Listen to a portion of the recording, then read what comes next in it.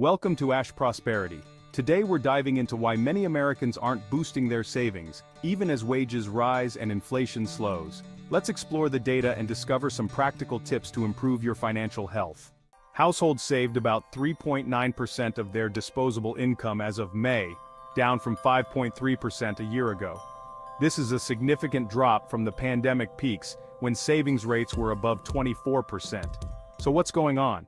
Despite a strong economy, steep living costs and high interest rates make it tough for many to save. Around 58% of US adults are uncomfortable with their emergency savings levels, up from 37% in 2018. First negotiate lower bills and credit card rates. Matt Schultz from LendingTree says, you have more power over your money than you realize. Many banks are willing to lower interest rates if you ask. Consumers are also stashing money in high-yield accounts, paying as much as 5% interest. Now's a great time to take advantage of these rates before the Fed lowers them.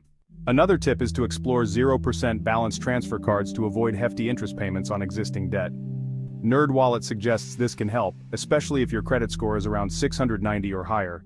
Streaming services can add up quickly. Americans spend over $60 per month on average.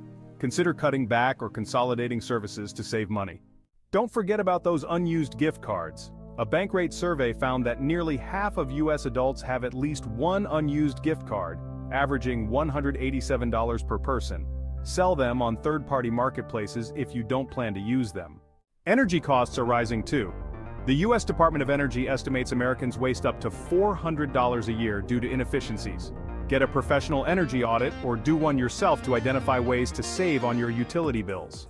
Lastly, consider temporarily adjusting automated savings to boost cash flow. Kevin Mahoney, a financial planner, suggests that it's okay to reduce savings temporarily for specific needs, like childcare or housing costs. These tips can help you navigate high living costs and save more effectively. Remember, small changes can add up to big savings. Thanks for watching Ash Prosperity.